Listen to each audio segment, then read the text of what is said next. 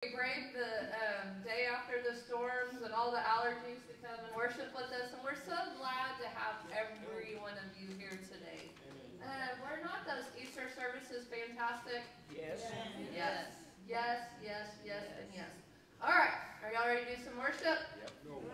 Yeah, or continue.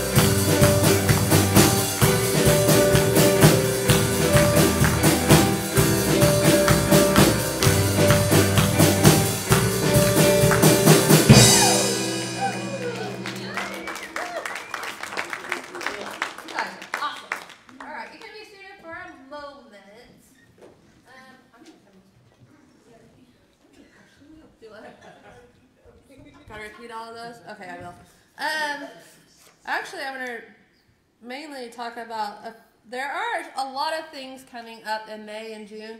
We have. Um, it's kind of. I don't know. Usually after Easter, I feel like we have a break, but it's no. No. Just kidding.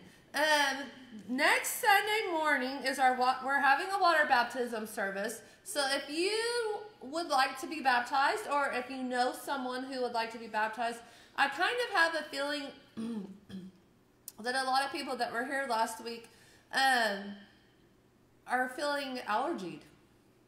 Yeah. I mean, just to be completely honest, I mean, because most of us that are here feel, feel allergy, do we not? So, share with your friends that aren't here or someone that you know that might like to be baptized, or, you know, even if you've rededicated your life to the Lord, I think this is a great symbolism of what the Lord has done in your life. So, we are offering that. If you would like to do that, see the pastor, sign up on there, something somewhere in the foyer on the table to sign up for water baptism. Do that next Sunday morning. We'll end the service with a great celebration of uh, new family in heaven. How about that? I mean, that's what it's all about, right? So uh, we'll do that. Then also today is our last day to order our beautiful T-shirts. Hey, Weston, pull that up. I know that works. There we go.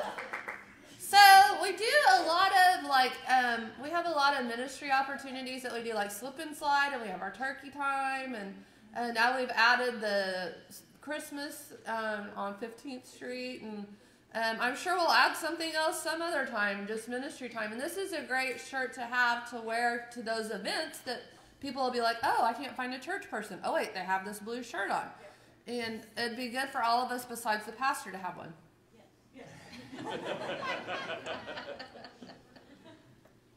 not that he is not a shining beacon of awesomeness. but let's all match the pastor. How about that? Um, I'm going to be like the pastor. Now's your chance. Order your t shirt today. Um, uh, Mother's Day is coming, May 8th. Am I correct? And we have great service for our ladies and our moms. And then the following Sunday is our ladies' tea party. All ladies and your your baby girls are all welcome to come and join us. It's always beautiful and wonderful, and the food is amazing because church people cook the best. So, and the best thing about our tea party is it's free. We do not charge you for the dinner or anything. We just want you to come and fellowship and hang out with us and get to know us. And um, what better way than over a plate of delicious food? And the Lord's carbs don't count. So, um, don't forget. Gentlemen, would you please come to receive our. Did I get most of it? Oh, VBS is coming. Yeah. I don't remember the dates, but. June 1st, 2nd, and 3rd. It's Wednesday, Thursday, Friday night. Um, big time. And we, we will need your help and your, your fun. I think sometimes we have more adults than children, but um, it's I think it's more fun for us in a way. So um, be sure to, when Madison will have sign-ups, I'm sure she'll be in here to tell us about it very soon, right?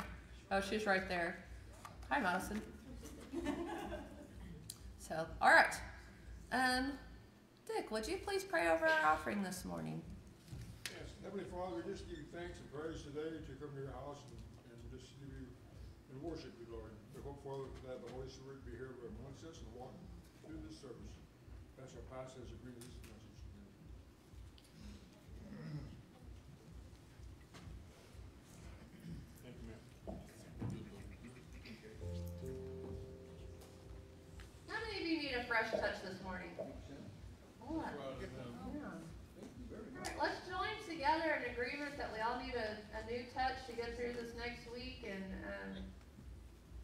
worship.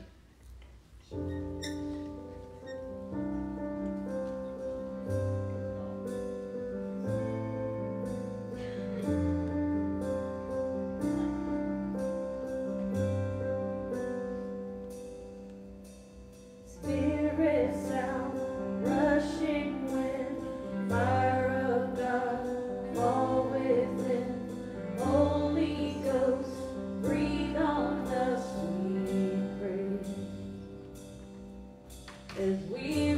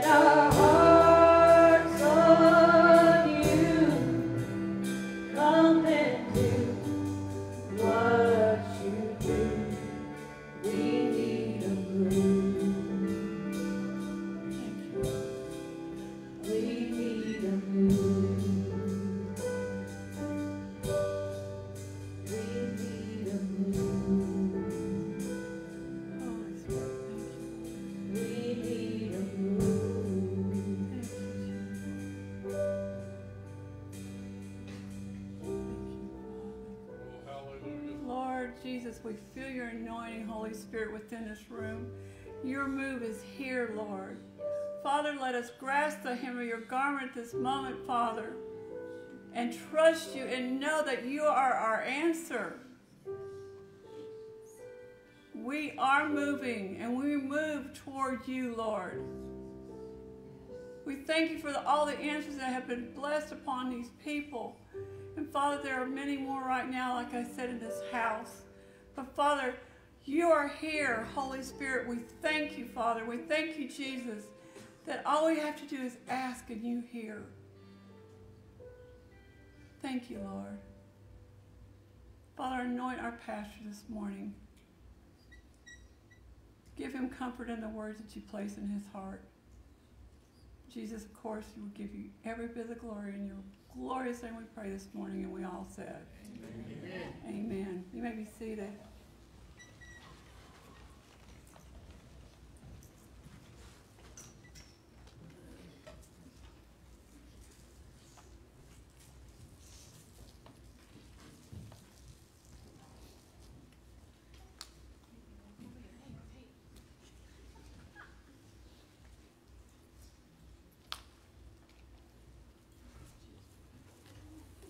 Well,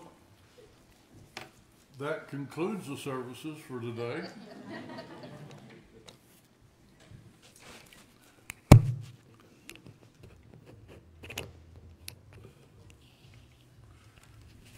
It's good to see each and every one of you after the storms last night. I, uh, glad you're here. Your home didn't get blown away. Good to see the Sullivans. They've been not sick, they have felt well. Glad you're here with us. Glad for all of our other fine folk. Thank you for coming, being a part. And uh, I hate allergies. Can I hear an amen? My allergies have kicked in. And they're telling me right now they don't like me at all. And the feeling is mutual. If you would, turn with me to Joshua 24. I'm going to read verses 14 and 15.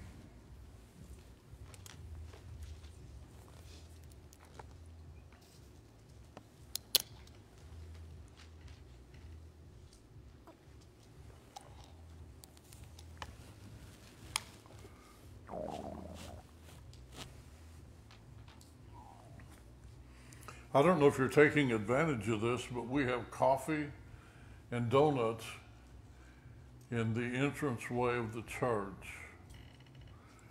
And you can get them when you come in, or you can get some when you leave. We prefer that you eat the donuts on the way in so you can be on a sugar high. It makes song service better. Amen. Nothing's working today. Now, therefore, fear the Lord and serve him in sincerity and in truth. Remove the gods which your fathers served on the other side of the Euphrates River in Egypt and serve and serve the Lord. If it's unacceptable in your sight to serve the Lord, Choose for yourselves this day whom you will serve, whether the gods of your fathers that your fathers served that were on the other side of the river, or the gods of the Amorites in whose land you lived. But as for me and my house, we will serve the Lord. Verse 16 says, the, This is the people's answer. This says, Far be it from us to abandon or reject the Lord to serve other gods. Father in heaven, we thank you for your faithfulness unto us, and we thank you, Lord, for all the great things that you're doing in and around this church. And Lord, as we study the word this morning, I pray in Jesus' name that you would just anoint us to speak and anoint our ears to hear. Make it easy to speak and make it even easier to hear and understand. We pray it all in Jesus' name. And everybody said, Amen. Amen. Verse 15, he says, Choose for yourself this day whom you will serve. Now, I, you know, uh, I know you've studied the scripture and have an understanding of what is happening, but um, Israel had a lot of struggles in their endeavor to get to where they were at at this particular time. And struggles, I, you know, we always look for the, the easier way. No, no one really wants to struggle. But struggling is what makes us what we are today. It's overcoming the battles, the problems that you face. Nobody is problem free. Everybody has issues and struggles that they're going through. And so, how you undertake to, to overcome those problems and issues is what makes the difference in the kind of life that you're going to live and the blessing of God, the touch of God that we're all desiring upon our lives. I've thought it myself, and I know you have too. I don't know what I did to deserve this. I should have better. I should have more blessing. Why is it so hard? Why is, uh, why is things not going as well as I want them to go? But those are the struggles that makes us strong. My dad used to say, what don't kill you make you stronger. And we're all here. So we've been through a lot of struggles, but we're still here. We're still here struggling and going through issues and battles and problems. And uh, our country is going through issues and battles and problems. If there was ever a time that a nation needed to fall on its knees and pray, and if there's ever a time that a country needed to get a hold of God to get some direction for the country, it's today. It's the day and age that we live in right now. Because we're walking a long ways from what our forefathers wanted us to have and to do. But we're going to win the battle. I'm not going to give up and I'm not going to quit. I'm going to keep on fighting and struggling and praying. And this is where this setting of Scripture, uh, this is how it takes place. Um, it's talking, Joshua is talking, and he's uh, doing his best to convey this message. And, you know, there in verse 14, he said, he said to him, he said, Therefore let us fear and serve him in sincerity and in truth. Now, when he wrote that or when he said that, what he was saying is some, some of you are not as sincere as you need to be about overcoming the battles that you're facing in your life. And sometimes, you know, if you've carried a battle or had a fight in your own self for a long, long time, you know, sometimes it is easy to maybe not throw the towel in, but to take a half a step back and say, you know, I'm going to believe God, but the, the fight's not in me to fight like I should fight. So I'm just going to kind of coast into heaven. Don't, don't raise your hand. But everybody in this building has been there at one time or another where we had less fight in us than what we had at other times. And Israel's the same way. And Israel had struggled and they wanted to get out of Egypt, and they got out of Egypt. And the minute they got out of Egypt, they thought things would be great and everything would be fine. But from Egypt to the promised land was not a picnic, it was a struggle. There was things happening. They had to pray food in, they had enemies, they had uh, things to overcome. And sometimes it seems like it's overwhelming the problems that we face and that we go through in our own life. But I want to tell you what, what, uh, what we overcome makes us stronger. It gives us uh, the ability to overcome more and to live for God and to help somebody else overcome the problems and the battles that they're going through themselves. The problem that they had was was they brought some of the gods from Egypt with them and some of the gods of the people that were around them. They kind of fell in love with some of that too. So when we talk about Israel's problems, part of their problem was the struggle, but part of the struggle was that they weren't serving God in a way that they ought to that they ought to serve Him in hundred percent. A lot of them were fifty percent. A lot of them were seventy-five, but there was some that was hundred percent. But not all of them was there at hundred percent. Some of them had some issues. They still had some things that they were bringing along that they wanted to have for themselves. Just, just little things. It's not much, but it's just little things I want to stick in my pocket. And if I ever need them, they're there and I can just pull them out. And uh, they bring me a lot of comfort and a lot of joy. Well, I'm going to tell you something right now. He was making them make a decision that what we need is we need to serve God 100%, or those little things are going to pull you down. You know, the Bible says it's the little foxes that spoil the vine. It's those little things that begin to uh, eat away at our faith and the joy that we have. A lot of times our joy is gone not because of the big calamities that come into our life, but it's all the little things that we allow to happen and to go in our life and to continue to grow in our life. And we don't put it, we don't stop it when we have an opportunity to. And so he's talking to them and he's sharing with them uh, what he's thinking and what, what's going on in his mind. And uh, he's saying, you got to get rid of all those little false gods, those little things that you've been hanging on to. And sometimes we hang on to things like grudges and bad experiences that we've had.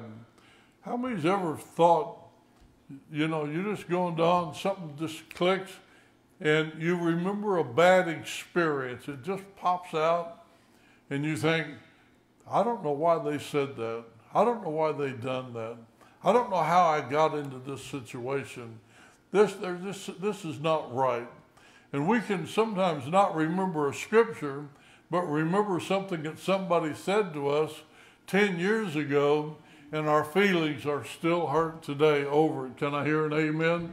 That's just the way the enemy works. The enemy begins to push and pull and push us in the other direction. Joshua was telling them, You've got to make a decision. There just comes a point in time when you've got to make a decision that you're going to do and serve the one true God, and we're going to go through this thing victorious. Now, uh, I seen this this morning on as I was getting dressed. Um, a football coach in the state of Washington decided years ago that after every game he was going to have prayer for anyone and all who wanted to pray whether they were on his team or the other team, they would meet over there in the center part of the field and they would join hands and have a prayer kneel and pray. And I, I thought, you know, that's uh, appropriate. I think that's fine. Well, uh, you know, can you believe that here we are in America, that someone would have a problem with praying on a football field? After all, football is our other God. Hello?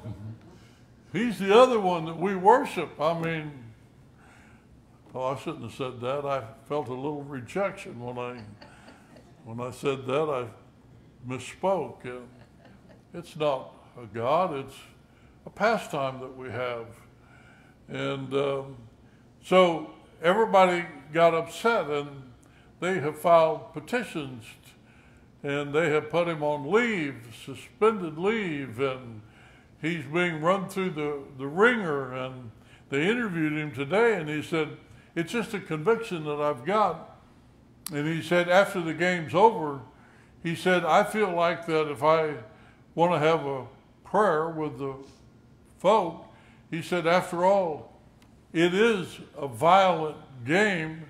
Nobody gets hurt and we're going to thank God that we played the game and nobody got killed. You know, that's basically what he was saying.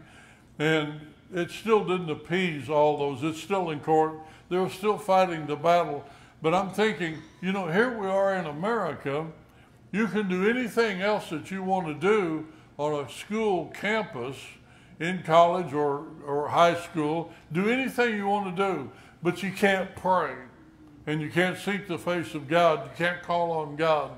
I, I just think that somewhere down the line, somebody didn't kill the, the little problems, the little foxes, the little, the little issues that were coming up. I think too many times we took a backward step instead of stepping forward and saying, we have the right to do that, we're going to do it, whether you like it or not. You know, it wasn't too long ago, and part of our church went down when, and it really upset me the way they wrote it, but they were going to cast a Christian out of a, de- out of a demon at the um, Civic Center, and I didn't know how many people would show up, but some of you that went will remember. Uh, I didn't know if there would be any anyone there. All three news channels was there, and um, they were having a séance in the building, and they had rented the room, I guess, and uh, they had said, We have the right to do it. Uh, we have the right to cast the Christian out of, the, out of this demon. And it still just didn't set well with me because they were trying to upset people and they were sure doing a good job of it. And we had all three television networks down there, and there was every Christian under the sun from the Catholic Church counting prayer beads to people playing instruments, praying, some on their knees. That whole parking lot was full of people, and everybody was praying. And I thought, you know, this is really the way it should be. If you want to go inside that building and cast a Christian out of a demon, you go ahead and do it, but you're going to be bombarded with prayer, and the power of the Holy Spirit's going to move and we're going to believe God to do something. And you know what? We made such an impact, the Christians did, they never tried that again. That was one stunt. The devil said, We're going to leave it alone. We're not going to try, try it again. I'm just making a statement on that. You know what? We've got to make a decision today as to whether or not we're going to serve God. Sometimes we've got to get out of our comfort zone, go down to Civic Center, We've got to get up there. We've got to make a proclamation. I believe Jesus Christ is Lord. He is our Savior. He is the one who died on that cross for our sins. And we're going to believe that it is the right thing to do to be a Christian in America today. Can I hear an amen? Come on, church, put your hands together. Hallelujah. Verse 15 uh, he said, Choose for yourselves this day whom you will serve. And, you know, our country's turned upside down right now, and uh, it doesn't look like it's going to get better on its own. And so I'm, what I'm saying is, is I'm thinking that if we love our country and we love our church and we love the people of this church, we're going to have to start standing together in a way that we've never stood and fight for the things that God wants us to fight for. And we've got to believe God that God's going to set America free from the problems that's going on in this country and that we'll get things right. Can I hear an amen? amen. Now, Joshua was getting up in age. He was 110 years old. I don't know about you, but I think when I hit 110, maybe I should be in a rest home. Hello? I want you there with me, okay? So we, will have company. Joshua's out on the front lines. He's still fighting the fight at 110. And he, if you reminisce or think about his life and what he did, in his early years, he worked for Moses. Now, I want you to think about this for just a minute. some pastor come to the church and decided he wanted to try out for this church, and you looked at his resume and you said, Well, where have you worked and what have you done? If the first thing that was on his resume was, I spent a number of years understudying Moses, you're hired. Come in. We, we want you. Anybody that spent time with Moses, we want you here in this church. But um, later, he led, he led Israel. He was one of the great leaders of Israel. He, he saw a lot of things happen. He saw the plagues in Egypt. He saw the parting of the Red Sea. He saw manna come down out of, or he saw manna that, uh, and quail come down out of heaven. He saw water coming out of a rock. He saw fire by night and a cloud by day. He saw the presence of God moving. Uh, he saw a lot of things in his life. So not only did he work with Moses, but he saw a lot of things along the way. I I don't know. I, I wanted I put this in this message and and I, and I wanted to make sure that we got this thought across. I want to make sure because we don't know when Jesus is coming. He could come before I finish the sermon, and I'm praying that he does so I don't have to go any longer in this sermon. Can, can I hear an amen? Because I don't, I don't like the look I'm seeing on your face. I see allergies all over this church, and it's pathetic. But I can't quit. I've got to keep going. I've got to keep moving forward. But I want, I want, should the Lord tarry, I want your kids and your grandkids to see the moving of God in this church. I think maybe one of the problems with a lot of churches is they never pray for the sick, they never see the hand of God moving in the church. They talk about it sometimes, but I, I don't want to just talk about God moving. I want people to get up out of their seats and be healed from their sickness, whatever the problems that they've got. I want to see God change people's lives. I want to see people uh, moved by the presence of God in such a way. I want, you know, we talk about manna. I want to be able to come to a praise and worship service and just feel the glory of God come down in that service. And it's just like, you know, eating manna and eating quail and drinking pure water and just feel so refreshed so that at the end of that service, when we walk out and get in our cars, we can say, It has been good to be in the house of the Lord. I want our grandkids and our great grandkids to experience the same thing as Israel experienced as they come out of Egypt into the promised land. I want them to see that. I don't want to be able to talk about it. I don't want them to read a report. Oh, we, they were in church uh, the one Easter, you know, and we had four people saved uh, uh, on our uh, Friday night service where we took communion. I don't want that just to be a report and somebody reads, oh, we had people saved. You know, thank God for that. I want people to come into church and see people walk down the aisle and give their life to Christ. I want to see the glory of God come into the hearts and lives of people. Walk in one way, walk out another way. You say, preacher, what are you trying to say? I'm telling you what, if it was good enough for Moses and coming out of Egypt, if it was good enough for the children of Israel going into, uh, going into the promised land, it's good enough for us today to have the touch of God upon our lives and in this church. We need a reputation in this community. If you need something from God, go to Family of Faith. They're a praying church. Can I hear an amen?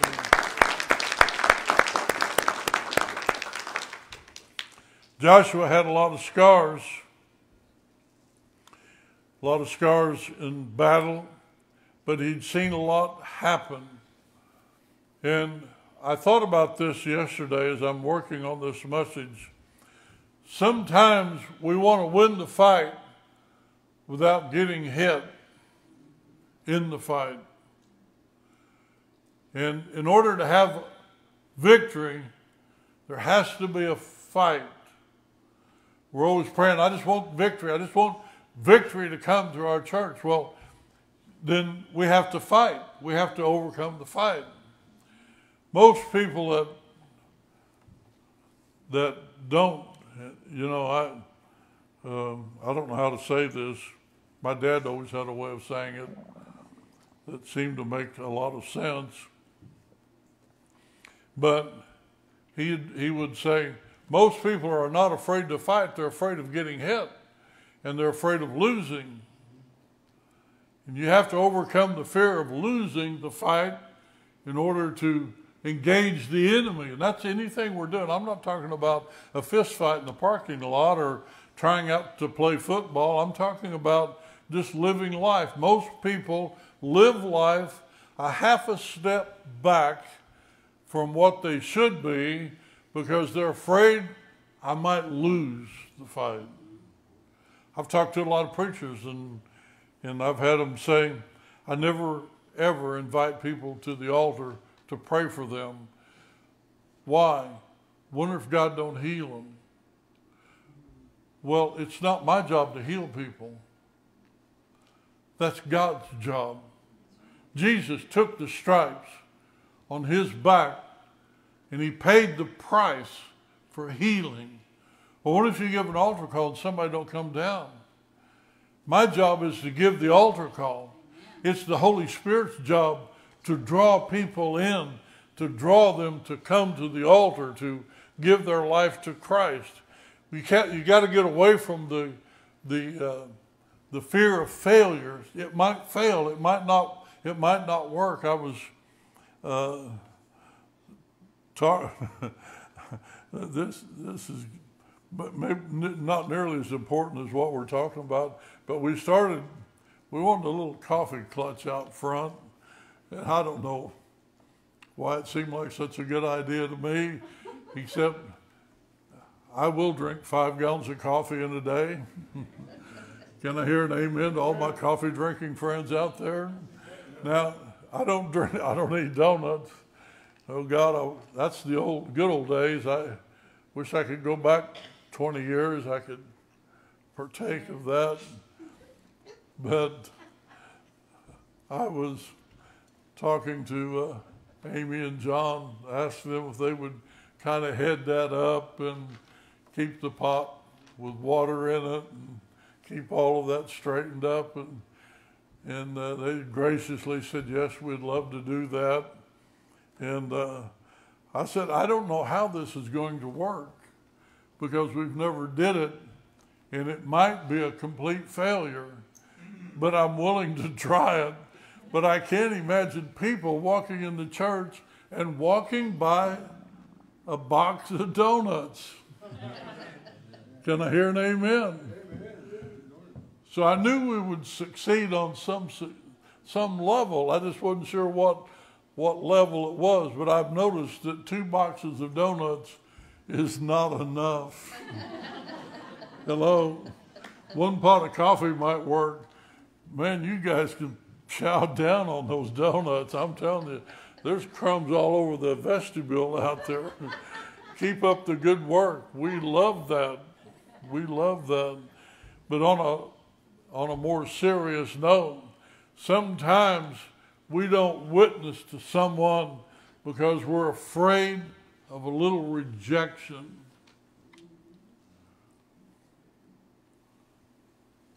Wonder if I invite them to church and they don't come. You can't make them come, but you can obey the call and you can invite them.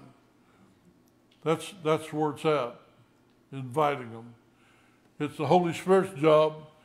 Well, what if it's not a good service? It's not our, it's not our responsibility to make it good, bad, or indifferent. It's our responsibility to play the music, preach the sermon, give the altar call. It's God's responsibility to make it good in the hearts of people. Invite people to church. You know, we're a Pentecostal church, and I've said this, and probably some of you maybe have heard me say it, but we'd have a lot of people coming, and, and we would wonder how's the service going to go? Is the service going to get too out of hand to scare people? Have you ever thought that? Wonder if the Smiths start speaking in tongues. Hello? Are we ashamed of speaking in tongues?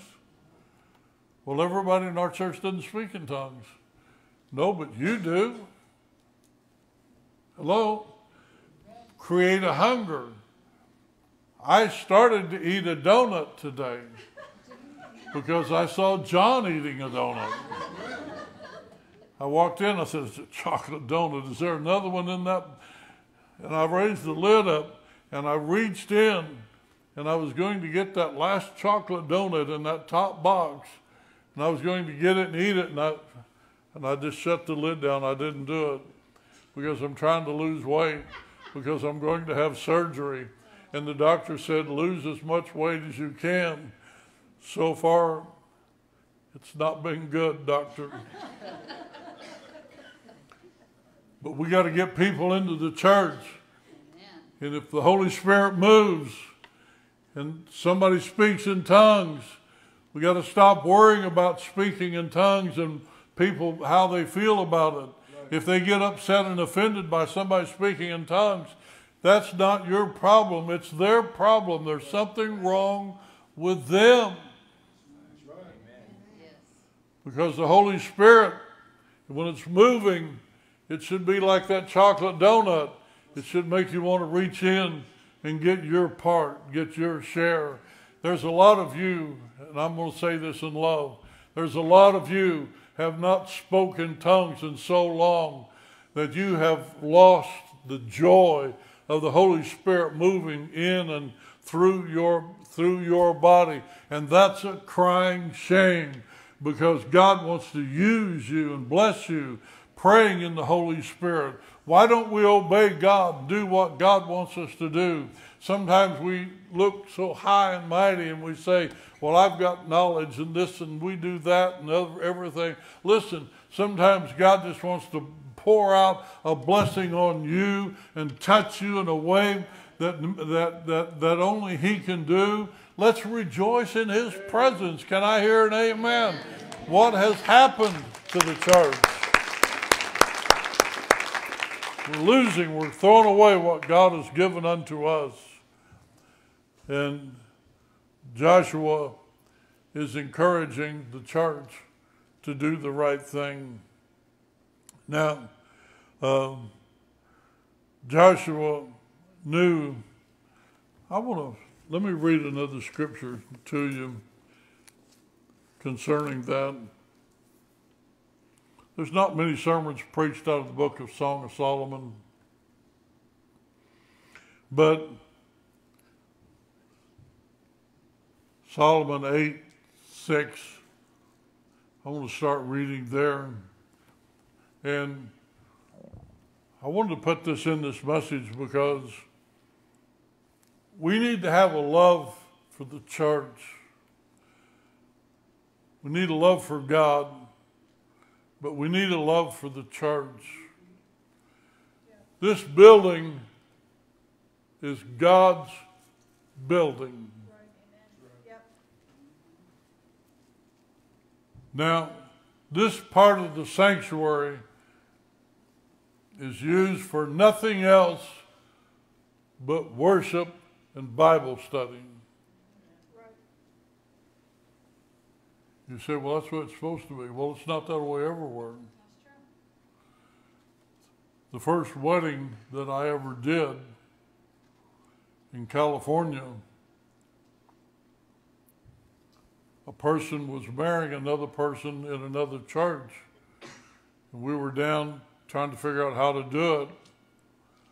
And the well, the person that was in charge said, Well, when we built this church, we fixed it so we can move all of the chairs out because we have dances in here in the sanctuary on on Friday night. I need some water on that.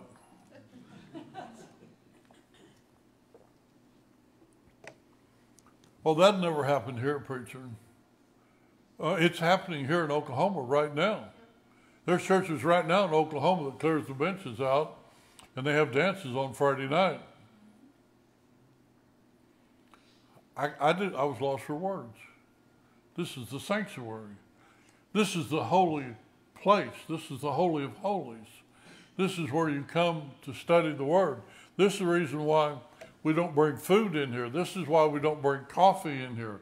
This is why we don't uh, serve any other kind of a meal in here. The only thing that takes place in here is worship and Bible study. This is what this place is for.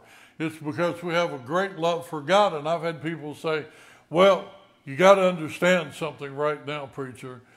The people are the church. Yeah, I understand the people of the church.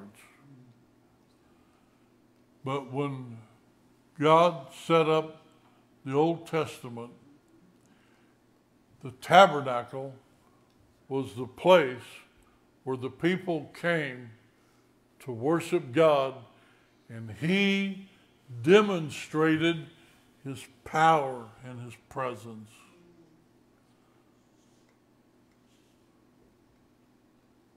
Wasn't under a bridge, it wasn't in somebody's house, it was in the tabernacle. You say, What are you trying to say? I'm trying to say the most sacred thing about in this building is where we're at right now. We come in here, we should love this place. We should love this sanctuary. When you walk in, it ought to touch your heart. There should be a, a warmth in your heart when you see this place and see these altars. Most churches anymore don't have altars. I brought these altars from the old church. These altars were made in a Methodist church. They were handmade in a Methodist church. Brother Herndon bought these altars from a Methodist church that decided they didn't need altars anymore. He bought them, took them to Bethel Temple. I'm thinking to myself, we need altars in this church because I know people that need to be on these altars. They need to be kneeling on these altars. You need to have your heart on these altars. I know people that's too hard hearted. They're too cold in their soul. They're too indifferent about God, the things of God. They're too indifferent about the moving of the Holy Spirit of God. We've saved these altars for you, my friend, that you might be able to find yourself being melted down in the presence of God. God wants to touch us, and the altars are a part of it. And as long as I'm pastor, there are going to be altars in the church because that's where the sacrifice is made. Jesus made the ultimate sacrifice on the cross, uh, but as a Christian, we duplicate that laying on an altar. So that's why this place is like it is. Let me read the scripture. Put me like a seal on your heart, like a seal on your arm. For love is as strong as death and jealousy is as cruel as the grave. It flashes are flashes of fire, the very flame of the Lord. And then verse 7 says, Many waters cannot quench love, nor a river drown it. If a man would offer all the riches of his house for love, it would be utterly scorned and despised. He's speaking about the church and the love for the church. God's love for you cannot be quenched by water. If you think for one minute that God loves you one day and he doesn't love you the next, you're listening to the devil, the enemy of your soul, is cheating you out of the blessings of God. I'm going to tell you, when God led Israel out of Egypt into the promised land, He promised them He loved them and that He would go before them and He would direct them and guide them. That promise is just as true today, just as sure as Joshua walked these folk in as a 110 year old man uh, into that place where God wanted him. The same Spirit of God is moving today in this church, in this building. It needs to be a sacrifice that nothing else goes on except God in this place. And the reason is your great grandchildren, and I've got great grandchildren in this building right now, sitting in this place. You say, Preacher, what are you trying to say? We're leaving a memorial for them. Just as sure as Joshua saw manna and quail come down out of heaven and feast on it, our grandkids and our great grandkids are going to walk inside this building and kneel around these altars and pray and seek the face of God. And they're going to have memories of the blessing of God and the touch of God upon their life. And they're going to look back and they're going to remember you and they're going to remember me being a part of this church. And we want those memories to be they worshiped, they studied, they prayed, they were not afraid, they went through struggles, they overcome battles, they overcome problems, but they stood the test of time. The church was for one thing and one thing only, and that was to glorify God in this place. Can I hear an amen right now? Let's stand to our feet. You've been a wonderful congregation.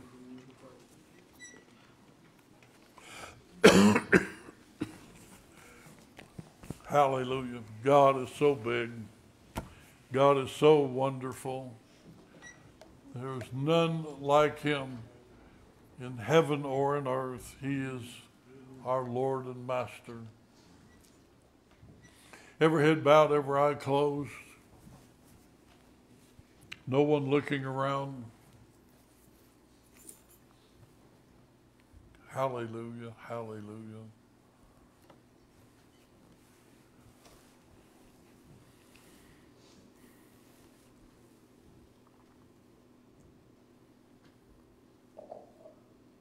We're going to pray for this country that we live in. How many's willing to pray with me this week? Just slip your hand up. For America, yes. Almost every hand in this building went up. Let's start by praying right now. Father, we, we're thankful that you gave us this great country. We've not always managed it in the right way. But Lord, we've not turned our backs on you. And through failures and faults, we're still looking through the problems and the struggles and the issues, trying to find your perfect will. And help us, Lord, to be a shining light in these last days. Lord, I pray for this church. Lord, we're a church filled with people that love you. And there's not a one of us perfect. You know that. You see us. You see our hearts. You see us trying. But because we're human, we're filled with all sorts of problems and issues. But help us, Lord, to have a love for each other like you have for us. A river cannot quench the love of God, and nothing should quench the love that we have for each other and you. And I pray that that blessing would touch each and every one of us. Hallelujah. Hallelujah. Let's sing that song right now.